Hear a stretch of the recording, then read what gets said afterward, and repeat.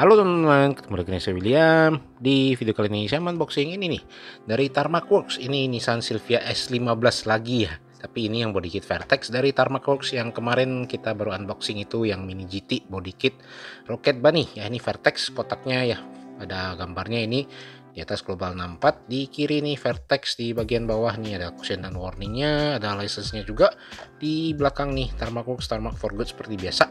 Yang biru ini juga ya di luar dugaan yang PO kayaknya sepi pas ready nih pada rebutan tak kenapa ya cakep sih kayaknya ya. Ya nih langsung kita bukain aja ya makanya ini entah kenapa tiba-tiba peminatnya banyak mungkin karena pas rilis itu di foto orang luar itu cakep ya. Jadi pas ready pada rebutan. Padahal pas open PO yang PO nggak banyak sih ya. Cuman berapa orang kayaknya yang PO ya. Nggak banyak sih setahu saya ya.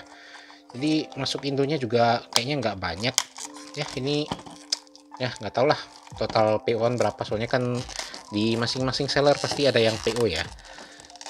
Oke ini kita keluarin aja. Aduh kotaknya yang model gini lagi nah.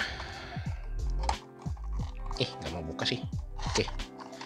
Nah ini langsung kita keluarin aja. Kalau untuk tarmac nggak usah takut defect ya. Soalnya ada after sale service-nya. Kalau memang ada defect ya bisa diklaim ke sales at tarmacworks.com nah ini birunya cakep sih. Ini kita pinggirin dulu mikanya ini birunya cakep ya.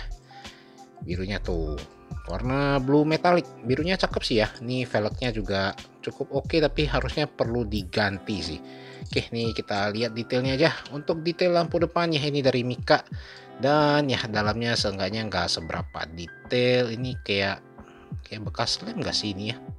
Ini kayak bekas lem ya lampu depannya. Ya. Apa memang gini? Kayak bekas lem sih menurut saya, menurut saya ya.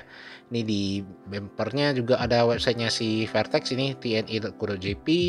Ini kanatnya udah nyatu sama body ya dari besi.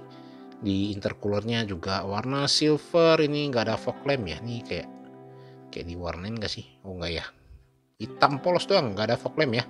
Di grillnya juga polos di kap mesinnya ini juga polos nggak ada tonjolan player. Kaca depannya ada vertex di bagian samping ini ada lampu samping ini ya.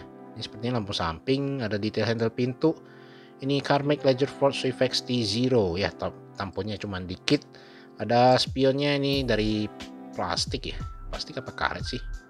Kayak karet ya. Refleksinya cuma dicat silver. Detail sebelah kanan sama aja. Taki bahan bakar ada di sebelah kanan. Dan di sebelah kanan ini liverynya terbalik ya. Mirroring kaca belakang polos nggak ada di fogger di wing belakang ini harusnya dari plastik warna hitam. Dan lampu belakang ini ya lampu belakangnya dari Mika license plate Vertex ini ada websitenya lagi tni.co.jp untuk sasisnya sendiri ya ini dari diecast ya ban karet dan ini bisa rolling dengan lancar karena varian global 64 itu dibikin bisa rolling semua ya. Dan sasisnya ini dari diecast. Untuk interiornya sendiri ini setir kanan dan hitam polos doang ya varian global 64 itu paling murah ya terendah dari variannya si Tarmac Works jadi ya harganya di bawah Permacox yang biasa 300 ke atas ini ya cuman 200 berapa gitu ya sekitar 250-an kalau nggak salah. Ini kalau nggak salah harga PO nya 235 ya. Dan sekarang ya nggak tahu sih harganya udah barangnya juga udah menghilang dari pasaran. Yang jual mungkin udah 300 ke atas kali ya.